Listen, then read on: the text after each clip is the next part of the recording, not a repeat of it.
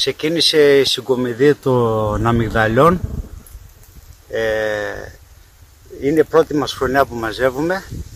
Ε, μετά από πέντε χρόνια που τα βάλαμε. Ε, δεν έχουν πολλά έξοδα για να τα βάλεις να τα καλλιεργήσεις και βοηθάει στο εισόδημά μας.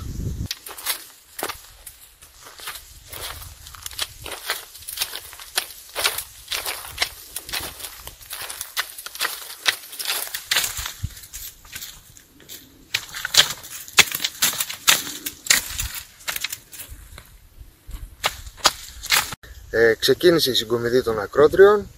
Βρισκόμαστε σε ένα περιβόλι με αμυγδαλιές, 400 δέντρα περίπου, στην πέμπτη χρονιά. Ε, μια καλλιέργεια με χαμηλό κόστος καλλιέργειας. Μιλάμε περίπου στα 100 ευρώ το στρέμμα κόστος καλλιέργειας το χρόνο.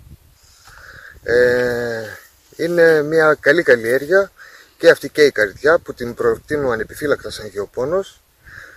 Ε, στην περιοχή μας πρέπει να στηριχτεί αυτό το κομμάτι. Έχουν μπει περίπου 15.000 με 20.000 δέντρα μυγδαλιάς και άλλα τόσα περίπου δέντρα καρυδιάς ε, και είναι κάτι που πρέπει να το στηρίξουμε.